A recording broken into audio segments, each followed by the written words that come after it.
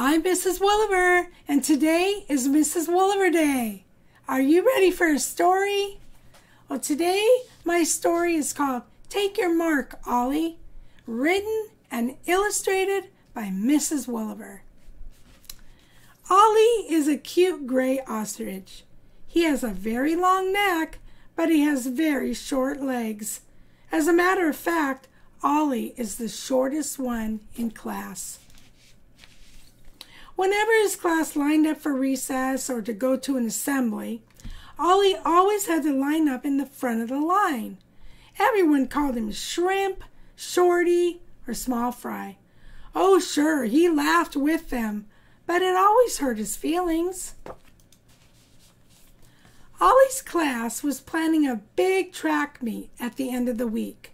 A track meet is an event where people run races and do other fun games outside. Ollie couldn't wait to run against his friends. He got in shape by jogging around the block and jumping rope. He didn't want to get tired out when he ran against them. His friends couldn't wait to run against him either. They figured it was going to be easy beating Ollie because his legs were so short. They didn't think that short legs could run very fast. But oh boy, did they have a surprise coming. On the day of the track meet, Ollie's class lined up after snack time to go out to the field.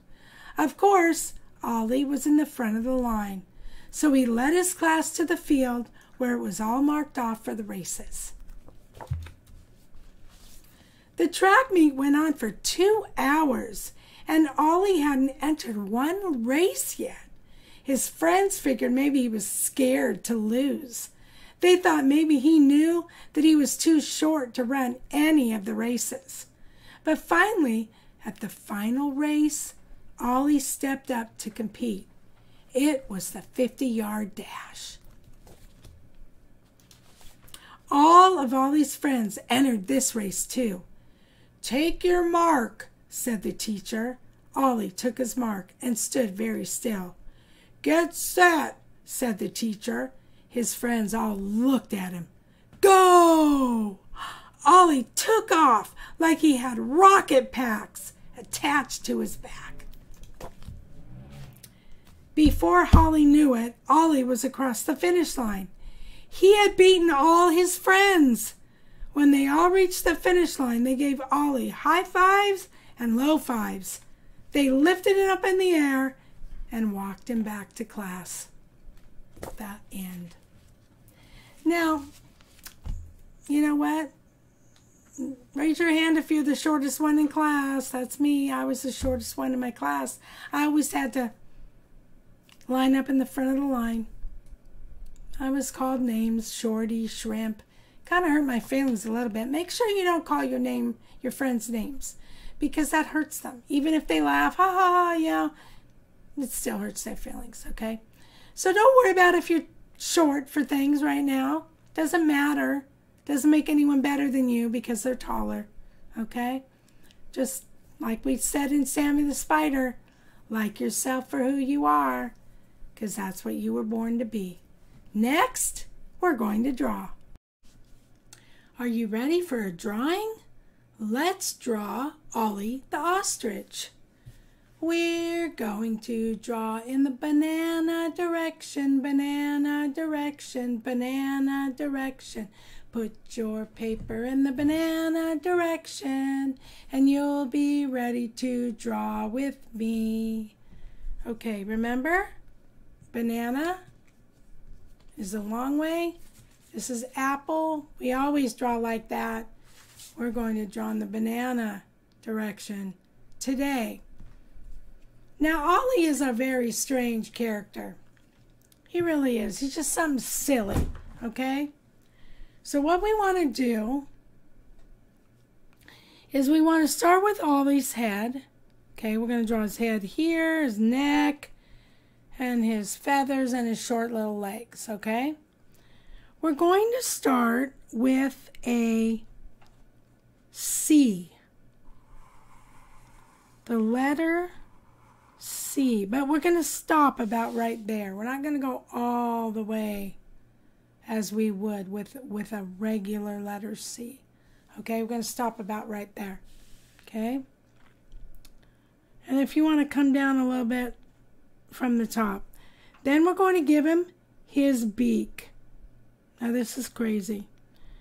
You're going to put on a beak like this. Kind of like we did Fillmore's tail when we came out, right? Then we're going to come in, watch up like that. And give him a Mrs. Woolever smile. Okay. And then you're going to come down a little, come in, not right from the top, but come in about right there, come down, and go like that. All right, there's his beak. That's hard. It's not easy. It's hard. Difficult. Challenging. I like to say challenging. Okay.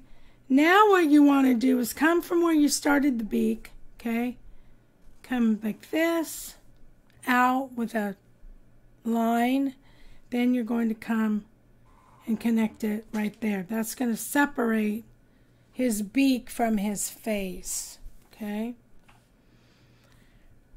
right here on top of his nose, you're going to give him a little dot, a little spot.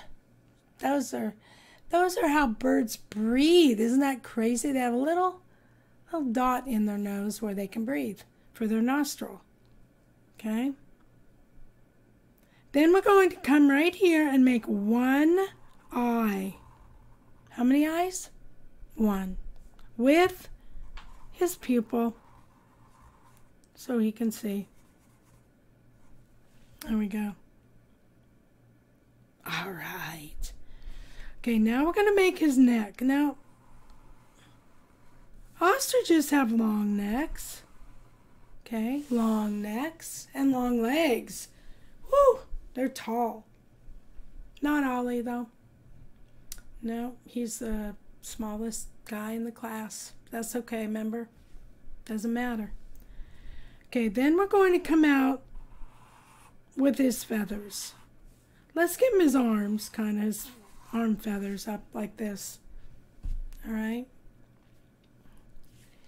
And then we're just going to come around. Gosh, it's kind of going to look like a jungle sun when we're done. Okay. Same kind of shape as the jungle sun. There you go. Good job.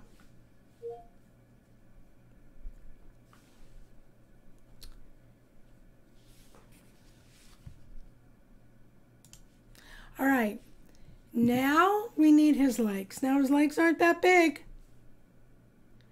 You're going to come from those feathers like that.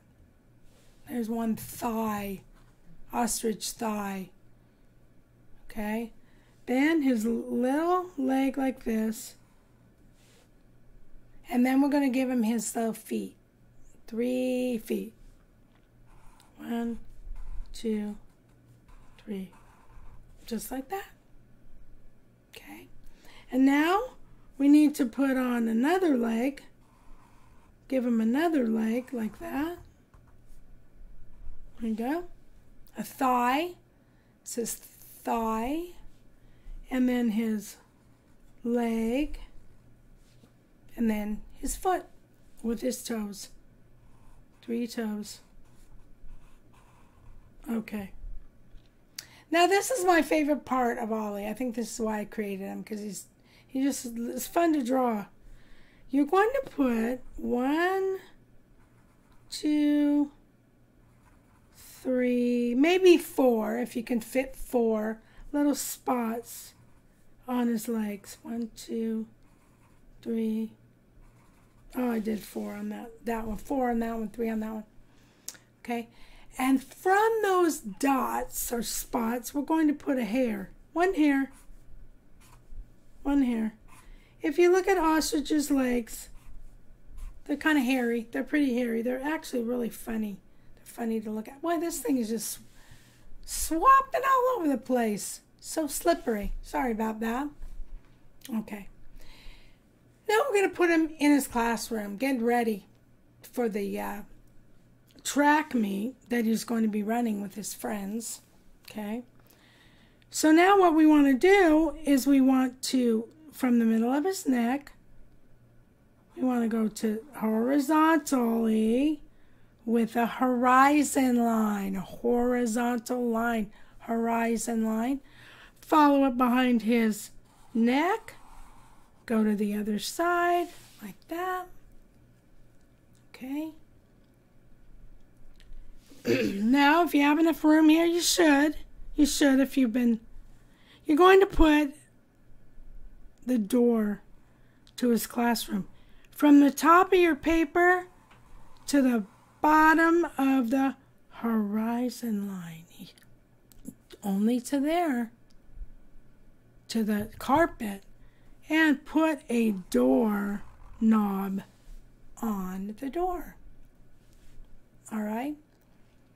And if you remember from making the mouse that we did, okay, we're going to put an electrical plug on the wall, socket. So let's practice that shape. We're going to make a rectangle, big one. Make it big so you can fit those other shapes inside, okay? Like that. You're going to put a square here, square, here. Okay, let's do line, line, circle this time. They're all different. Some have circles on the top with a line in the middle. Some have lines on top with a circle down on the bottom. So it really doesn't matter which way you do it. It just looks like a plug that you need to plug something in the wall. okay?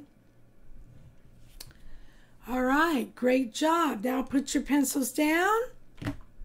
Look down at your paper and say, Wow, I did a great job. Okay, now tell your neighbors. Wow, you did a great job too. Are we having fun now? Yes, we're having fun now. We're having a very nice day. Are we having fun now? Yes, we're having fun now. We're having a nice Mrs. Woolever day, learning to draw the Mrs. Woolever way. Until next time, keep drawing and don't forget, hit subscribe.